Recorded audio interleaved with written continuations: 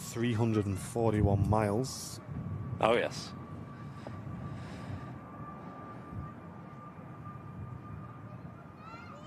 On this one year old aircraft from March 2021.